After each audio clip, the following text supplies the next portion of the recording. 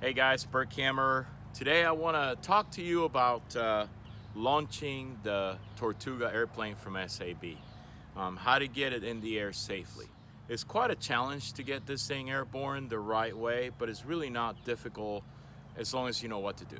So you have obviously two options. Option number one is the easy way, which is just literally take the airplane and you just throw it, hand throw it. The problem with hand throwing or la hand launching the airplane is, is that um, it's a relatively heavy airplane. It needs to go really fast and it's very difficult to get it up to speed very quickly when you throw it with your hand. So generally what happens is people will try to throw the plane sort of like at a, you know, flat angle and uh, because you don't have enough speed and enough airflow flowing through the surfaces, and generally as you let it go, you're gonna have some torque induced left rolling tendency. So the minute you let it go, it's gonna wanna roll to the left. And you can give it a lot of right aileron and it's not gonna do anything because there's just not enough airflow flowing through the aileron surface for you to counteract that left rolling uh, tendency. See? Done. So the only safe way to hand throw it is to do it um, in the same way that you're seeing in this video on the screen.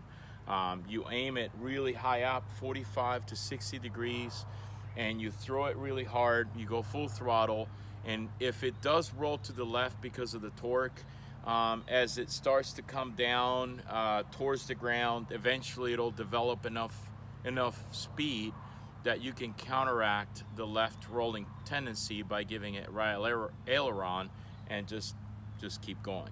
Um, it's a little nerve-wracking. It's not something that is very comfortable to do if you're by yourself and you're flying it by yourself. So the safest, best way to launch the Tortuga is by using a launching device, some kind of launcher. So um, you can buy something cheap. Uh, here's an example of a cheap launcher. This thing is available from, uh, I believe it's Hob Hobby King uh, or any place in China. You can buy this thing for like 30, 35 bucks. Uh, the way this works is you have a pedal on this side with a pin. And uh, basically you have a bungee and the bungee goes all the way out and it's under tension of course. And then as the bungee is put under tension, you have one hook on your pedal here and then you have the other hook on your airplane. And as you push the pedal it releases this hook and it launches the plane in the air. The problem with this setup is not only the fact that it's pretty flimsy um, but also the fact that the the tension is being held by this pedal this pin in the back of the launcher itself so what happens is you have this trailing cord behind the airplane. So as you have one cord that is attached to the airplane through the, the hook that pulls the airplane from the launcher, you have another cord, which is the one that was holding the tension on the, on the whole contraption here, which is gonna be trailing the airplane. And this could get tangled up on your prop, it can, it can hit your control surfaces. I mean, it's asking for trouble. So the best launching system you can have is one that has the release mechanism ahead of the airplane so that there's only one simple cord, just one cord that keeps your tension and that holds your airplane and, and launches your airplane. So after a lot of research, uh, we've finally been able to design or to, to hand build a system ourselves that works extremely well. So um, disclaimer, this is something you have to build yourselves. So basically go to the local hardware store, buy the parts I'm gonna tell you to buy and just build it yourself. It's not very hard to do. I know this is kind of like an undertaking for a small airplane, but the beauty of this is this will take the whole stress out of your Tortuga enjoyment. In other words, you know this will work every single time. You can share this with your friends. You guys can launch multiple Tortugas at a time and fly them all together and you don't have to worry about having somebody to throw it for you or making sure that you throw it the right way and it just takes the whole stress out of the equation. So number one and most important is the type of um, elastic or bungee that you use to launch the airplane. Some people like this stuff. This is like a surgical type, uh, I guess surgical rope. I don't know what you call this. Um, it's very elastic. It stretches incredibly. Nah, it's not strong enough. You can't do that. What you need is some kind of bungee material, bungee cord material. This is only five millimeters. It's not thick enough, so it's not strong enough. So it doesn't really have the, the power to pull the plane. Remember, this is a rel relatively heavy plane. You need two things. You need length, distance, and you also need strength. You need pulling power. So this is not gonna cut it, no way. So after a lot of testing, this is what you need to use. Um, in Europe, they're using 10 millimeters. In the US, we use 3 eighths of an inch, which is more like 12 millimeters. This stuff is super strong. You can buy this at like Amazon. Um, the key here is to get the right length. Um, this, for example, right here is 35 feet of this bungee cord right here. And again, you can buy it at Amazon or any other place like that. Obviously, you want full 35 feet.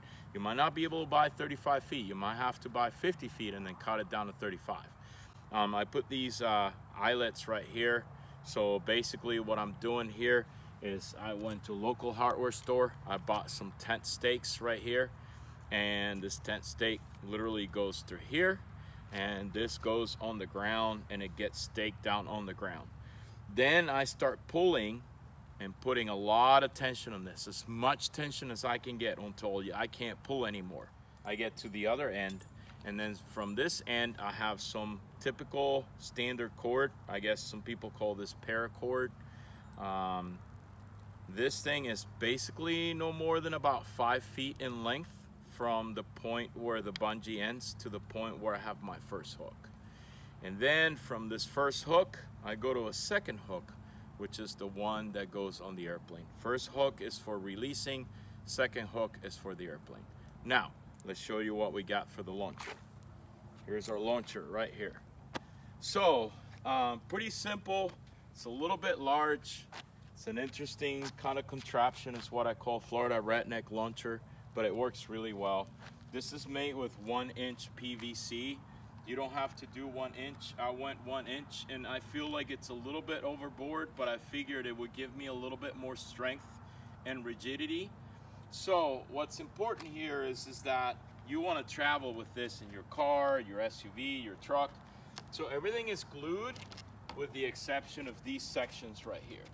So I can remove these sections they will store flat, same with that section there, same with that section. And I could put it in the back of my truck or in, uh, you know, uh, a car if you have some kind of connection between your trunk and your back seat.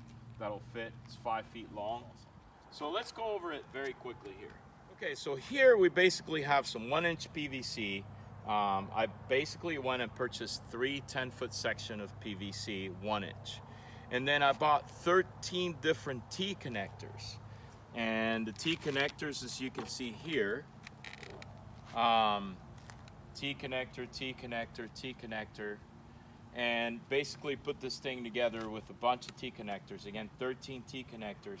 And as you can see here, I basically extended these legs to where with a few additional uh, stakes, I can stake down into the ground, into the grass. So I have one stake point, another one here, another one in the front because that's where my bungee connects to, and then two on the back, one on each side.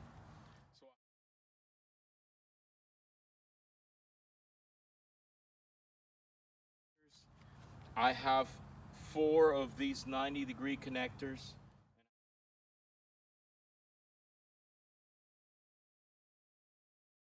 Because I made this kind of contraption here that holds a pivot for the, the wood. And I'm going to talk about the wood here in a minute.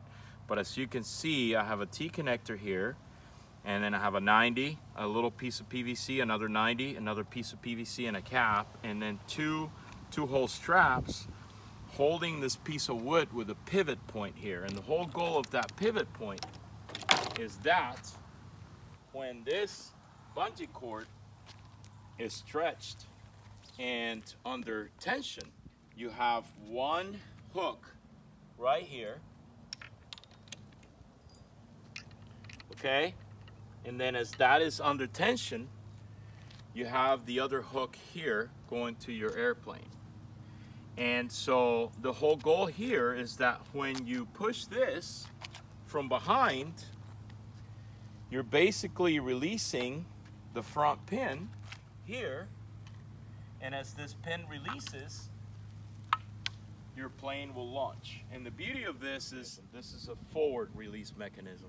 So when you release this whole cord, there's nothing trailing the airplane. Everything is ahead of the airplane.